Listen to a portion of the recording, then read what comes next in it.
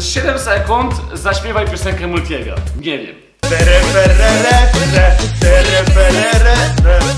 Przepraszam, pomyliłem się.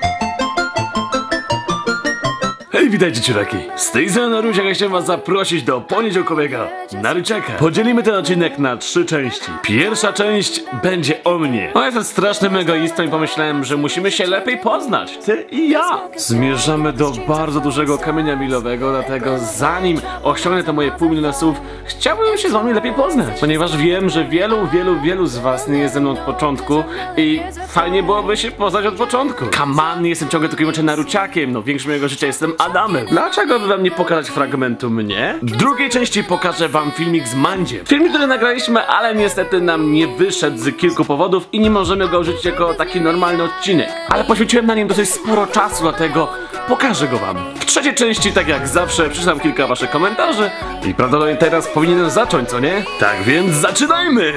I'm 21 days.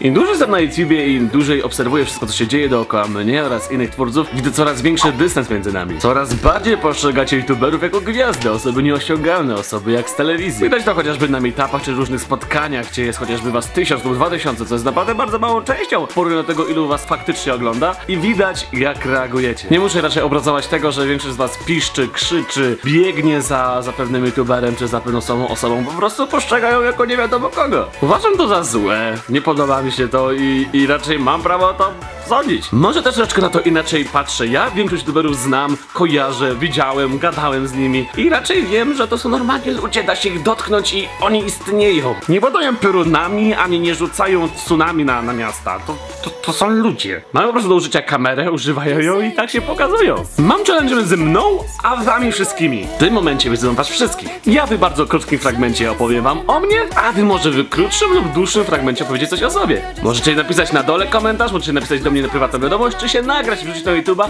i mi pokazać także prywatnie lub nie. Postaram się wszystko czytać i was dobrze poznać, droga Aniu, Piotrku, Andrzeju czy Mateuszu. Poza tym będę nagradzał osoby, które się nie boją, mam sporo koszulek z mojego sklepu, którymi mogę was rzucać i wam dawać je. Tak czy tak, jestem Adam Zimmerman. Nie jestem żadnym Niemcem ani Żydem. Nazwisko jest od strony ojca i dziadków, z którymi od dawna nie mam kontaktu. Co za tym idzie, całe życie wychowywałem się bez ojca. Oczywiście nie chwalę cię tym, ale to miało wpływ na mój charakter. A z charakteru nie jestem idealny. Jestem geniuszem, jeżeli chodzi o kłamstwa. Kłamię rzadko, ale zazwyczaj bardzo sukcesywnie. I chodzi mi o tak zwane kłamstewka. Czyli typu, to nie ja obstrałem kibel, czy to nie ja zjadłem tą bułkę. Potrafię tak skłamać, że faktycznie wyjdzie na to, że nie jestem winny. Ale nigdy nie używałem tej umiejętności, żeby robić jakieś złe rzeczy. Skoro zaczynam od negatywnych cech, to jestem także egoistą. Mega walczę z tym, żeby być także dla innych. Jest to jedna z tych cech, których bardzo mi pomógł YouTube, żeby je zwalczyć. Nie może jestem youtuberem i powinienem faktycznie płynnie rozmawiać po polsku i w ogóle, to mam naprawdę bardzo spory problem z mową. Bardzo często powtarzam różne zdania, często się powtarzam i to widać chociażby na moich live'ach, gdzie potrafi mi się naprawdę zaplątać język. Jest to skutek tego, że bardzo szybko mówię, potrafię wejść w słowotok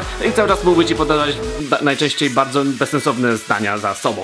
Często rozwijam temat o wiele za długo niż powinienem. Mam skłonność obwiniać innych za to, co mi się stało. Na przykład bardzo długo obwiniałem YouTube za to, że przytyłem. Naprawdę, ponieważ odkąd zacząłem YouTube'a, zacząłem bardzo dużo spędzać czasu w domu na montowaniu, na nagrywaniu i na innych rzeczach. Przestałem chodzić na tenisa, e, udzielać się sportowo czy inne takie rzeczy. Więc skoro siedziałem tyle w domu i się tak mało nie ruszałem, no to troszeczkę poszło w górę. Musiałem się mega przełamać, żeby pozwolić Krzysiowi Golące wrzucić film, gdzie grałem w piłkę. Szczególnie, że dał mi tam za małą koszulkę, bodajże MK, ja noszę XL-ki, L-ki i dla mnie to było troszeczkę takie yy. Moja twarz jest mega plastyczna. Potrafię w jednym momencie wyglądać mega słodko, przystojnie i wiedzieć o tym, a w pewnym momencie wyglądać jak totalne gówno. Jest to prawdopodobnie spowodowane kulturami mojej twarzy, ale bardzo często mnie to irytuje, kiedy źle ułożone włosy lub gdy są oklapnięte albo cokolwiek potrafią naprawdę pokazać mnie w złym świetle, jeżeli chodzi o mój wygląd. Jestem mega leniwy, kiedy nie powinienem. Zazwyczaj jestem bardzo zapracowany i bardzo dużo robię rzeczy naraz i mam dosyć niezłą poziomność uwagi, ale czasami, kiedy powinienem zrobić naprawdę dużo i powinienem nagrać na zapas i w ogóle, to potrafię mieć takiego lenia, w którym w ogóle nie chcę się ruszać z łóżka i, i nic. Tak na przykład miałem ostatnio. Ostatnio, czyli dwa dni temu. Leżę wtedy albo siedzę i gram i nie chcę nic zupełnie robić z moim życiem.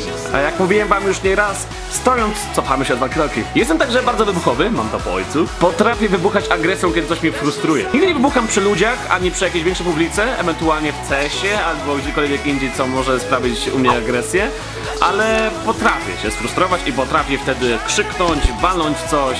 Ja jestem generalnie duży chłop. Właśnie, ponieważ mam 1,90 i na kamerze często widać, że nie jestem zbyt duży, ale no jestem wysoki i może też duży. I w zasadzie sporo by mówić, bo jak zawsze mam sporo do powiedzenia, szczególnie na mój własny temat, ale interesuje mnie to, jacy wy jesteście od tej strony troszeczkę gorszej, a nie tylko i wyłącznie od tej lepszej. Ja wam powiedziałem większość moich wad i rzeczy, które, które mi się nie podobają we mnie. Nie będę wam mówił o moich zaletach, ponieważ raczej nie powinienem tego robić. Powiedziałem wam za to o wadach, które ja dostrzegam. Może jest ich więcej, może mniej, ale to, to, to, to, to jest to. Liczę na to, że wy też coś powiecie, a teraz wam pokażę odcinek z Mandzie. Naruciak bądź, cicho bądź! Mówiłem ci, że może nie przychodzisz. Podwali mnie kurde! Witajcie serdecznie moje ziomeczki na moim kanale na challenge'u, gdzie skopię mu dupę! Dupę ci skopię!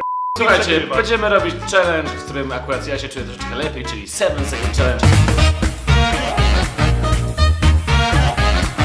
Do it! Twoje pierwsze zadanie, na którym masz 7 sekund, to jest opisanie YouTube'a, nie używając słowa film albo wideo. Gówno. Jasiu, akceptujemy to? Ja jestem na nie. No też jestem na nie. Wyleszcze! Wyleszcze! Jasiu jest A obiektywny. jaki losie byś nazwał? Jak byś nazwał?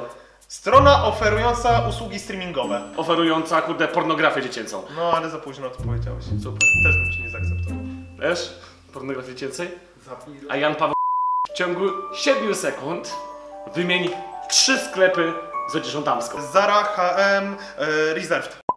Naruciak ma teraz zadanie, żeby w ciągu 7 sekund odegrać 5 różnych zwierząt i je nazwać. Raz, dwa, trzy. Tak normalnie. To było 5. Ale nie nazwałeś ich.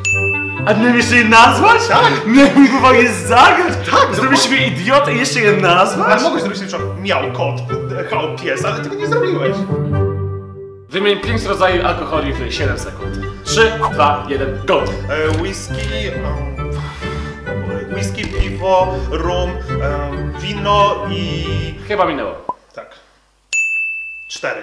Kochani widzowie, widzicie, że ja tutaj jestem przykładnym youtuberem, który nie spożywa za dużo alkoholu, dlatego znalazł trudności e, w tym zadaniu. Daję dobry wam przykład, bardzo dobrze. Zostańcie w szkole. Jesteś alkoholikiem. Narusiak, twoim zadaniem jest wymienić trzy rzeczy, których nie powiedziałbyś swojej mamie. Spier... Startujemy za trzy sekundy. Spier... w dupę. Nienawidzę cię. Wow. Dlaczego chciałeś, żebym to powiedział? Teraz to wyślę twojej mamie. A few moments later. Przez 7 sekund przyślizać pępek, ale ja nie mam. Co? Co? Słyszałem o tym, to ty nie masz pępka? A to, to będzie zamknij mordy. Trzeba zobaczyć jego wreszcie brzuch. Łapiemy go i sprawimy, dobra? Przez 7 sekund bądź SKKFM, Blowem i Rezem. Siemanko ziomeczki! Z tej strony SKK. Dzisiaj kupujcie Rizon e, Resistyle, przepraszam. Dobra, to ty. Za tego Rizona bym ci ujął tak 3 czwarte punktu, albo Ale, 4 ale to są piąte. podobne nazwy. Opisz siebie w trzech zdaniach. Jestem przesympatycznym chłopcem. Jestem bardzo mądry. Jestem niebezpieczny. Wiesz co, ty jesteś niebezpieczny, to chyba nie wiem dla kogo, że dla, dla swoich wi- widzicie widzowie, on jest niebezpiecznym youtuberem, nie polecam tego użytkownika i pije alkohol, bardzo dużo. Mam 17 lat, nie piję. Przez 7 sekund zaśpiewaj piosenkę Multiego. Nie wiem. Prze- Przepraszam, pomyliłem się. Nie, dobrze, spoko. Tak? Do- dobrze? Tak. No teraz twoje. Tak? Tak, Dobra, jest okej. spoko. Twoim zadaniem jest wymyśleć superbohatera, który będzie brzmiał super lamersko i nadać mu beznadziejną supermoc. Po angielsku czy po polsku? Po polsku, masz na to Kurwa, czekaj, raz, czekaj. Penisomen. Jaka jest jego moc. Napierdala spermu. I, I strzela w oczy. Ej, ale kobietom by się podobało, moim zdaniem to nie jest aż takie lamerskie. Nie robi też. To jest Przepraszam. Hej! Przepraszam. Nieprawda! Przepraszam. Penisomen! Rozumiesz, taka buźka na końcu czubka penisa, Przepraszam, no. ja chcę zadzwonić teraz do mojego przyjaciela, do Tomasza Działowego, zapytam się, czy Penisomen, który strzela spermą jest lamerskim superbohaterem. Ja właśnie dzwonię do e, Tomka. Daj na głośnik, bo ci nie wierzę. Dobrze. To daj na głośnik.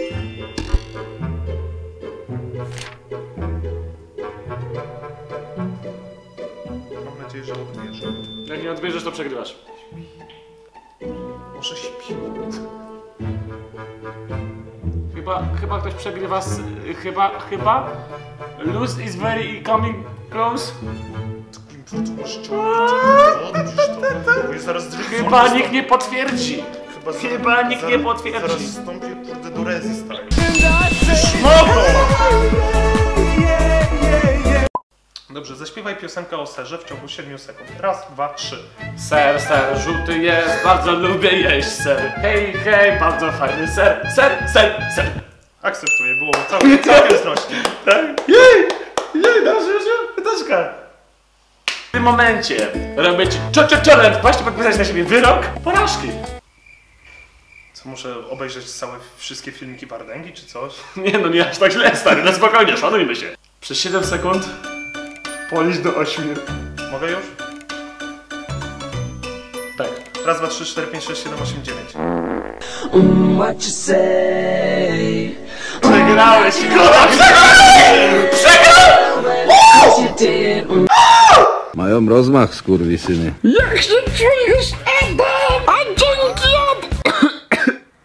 Dzięki Adam, bardzo dobrze, bardzo dobrze, u mnie jest naprawdę świetnie, jest teraz wieczór w niedzielę, a ja nagram poniedziałkowego do Ruciaka o godzinie 22 i, i się bardzo dobrze bawię, jest super, jest, jest, jest super, jest, jest, jest, jest, jest super. Mam mega syf w moim pokoju, przydałoby się trochę tu posprzątać, przydałoby się też mi woda, chcemy się pić, a, a poza tym jest spoko. Czy gdyby twój fan lub fanka zachorowała na niewyleczalną chorobę, a jego jej marzeniem byłoby spotkać ciebie, pojechałbyś do tej fanki fana? Zacznijmy od tego, że do widza, nie fana, już wam mówiłem o tym nieraz, że ja nie nazywam swoich widzów fanami, ani fankami. Prawdopodobnie tak, gdybym się dowiedział o takiej sytuacji, na pewno bym się śpieszył, żeby e, tą osobę spotkać i dowiedzieć się, dlaczego aż tak bardzo i szczerze zależy tej osobie na poznaniu mnie. To mogło być przykre doświadczenie, ale na tyle prawdziwe i pewnie tak bardzo budujące tą osobę, która byłaby już na swojej ostatniej prostej, że na pewno bym to zrobił. Zapytaj mamy, że gdybyś się urodził dziewczynką, jak byś miał na imię? Tak. Mamo, No. słuchaj, bo mam pytanie, a gdybym się urodził dziewczynką, to jak byś mnie nazwała? No nie śmiej się, powiedz mi, no jak? No ja wiedziałam, że będziesz chłopcem od początku. Gdybym się urodził dziew dziewczynką, to jak byś mnie nazwała? Może Ewa? Ewa? No przecież ty masz na imię Ewa, dlaczego ja miałbym się nazywać Ewa? To nie Ewy. A, no wiemy, no okej. No na- naprawdę Ewa? Ewa? No. Okej, dziękuję mamo, kocham cię. A, ja ciebie też, hej. Moja mama nazwałaby mnie Ewa. Jaka była twoja najdziwniejsza sytuacja z panem i panką? I tutaj właśnie mówię o tym dystansie między nami. Wy naprawdę uważacie, że jesteście moimi fanami. Wy siebie samych nazywacie fanami. To jest dziwne. Nie nazywajcie się siebie samych fanami. To, to jest straszne, w sensie... Nie. To jest złe. Nie wiem jaka była najdziwniejsza w zasadzie. Wiele było takich troszeczkę niestosownych, gdy na oczach mojej dziewczyny na przykład ktoś biegł na moje plecy i mi zaczął przytulać, mówił, że mnie kocha, a że dziewczyna to wiedziała i tak już wyciąga nóż i mówi, zabije tą, zabi- zabije tą kurwa. Wiele było sytuacji, w których zachowaliście się niestosownie lub dziwnie, ale to się zdarza pod wpływem emocji. Trzeba być wyrozumiałym. Tak mówił Karolek. Kiedy zaczynałeś nagrywać to na ile subów liczyłeś? W sumie nie mam pojęcia, słuchajcie. Liczyłem na to, ile będę miał subów, tylko żeby mieć dla kogo nagrywać. Chciałem mieć osoby, które będą czekać na kolejny odcinek, które będą się upominać o kolejny odcinek i które po prostu będą chciały mnie oglądać i będzie to sprawiało Friday przyjemność i będę miał stałych widzów, którzy będą mnie oglądać dzień w dzień lub co tydzień lub co dwa tygodnie, ale będą mnie oglądać i będą się podać moje filmy a, i tylko na to liczyłem. I jeżeli mając pół miliona subów potrafię mieć pod filmem powyżej 100, 200, 300 tysięcy świetleń, to wydaje mi się, że to osiągnąłem. I mimo wszystko, mimo że nawet mała część mnie ogląda z tych subów, ponieważ ogląda mnie jedna czwarta, jedna piąta, to w dalszym ciągu to są naprawdę ogromne liczby, ogromne rzesze ludzi, hordy ludzi, których potem jak widzę w realu naprawdę mi się ciepło robi na serduszko, a szczególnie mi się robi ciepło jak kupuję ci moje koszulki, ponieważ nie dlatego, że dostaję za to pieniądze, to już jest odrębna kwestia, ale bardziej to, że widzę wasz waszych moich koszulkach, że postanowiliście kupić moją koszulkę, a nie stu innych youtuberów. Wybraliście akurat u mnie koszulkę, u mnie wydaliście swoje pieniądze, najczęściej to są kieszonkowe, najczęściej są to pieniądze nawet i zarobione, a mimo wszystko decydujecie się na to, żeby kupić u mnie koszulkę, bransoletkę i to jest naprawdę mega fajne.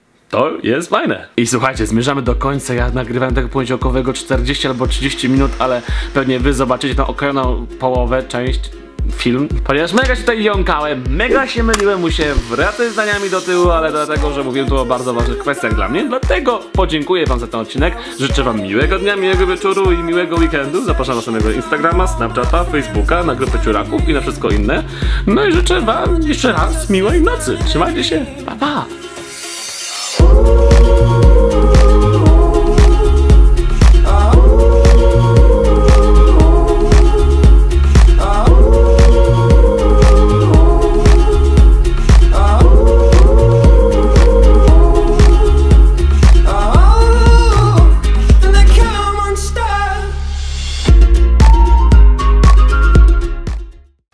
A, znaczy, przepraszam, Mandzio, słuchaj. No ja wiem, Eee, wiem, wiem. No, tak, tak, tak, nie wiesz.